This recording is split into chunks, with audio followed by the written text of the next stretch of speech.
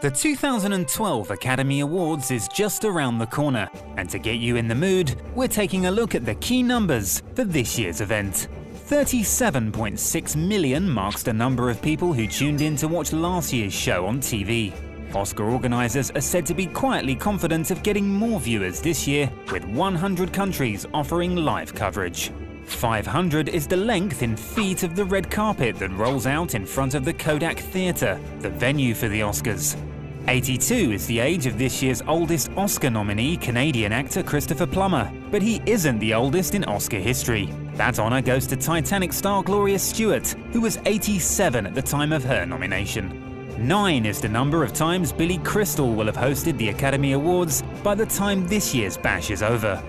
Will Best Picture favourites the artist or the descendants clean up and break records? If they do, they'll have some way to go to beat Ben Hur, Titanic, and Lord of the Rings Return of the King, who all came away with 11 awards.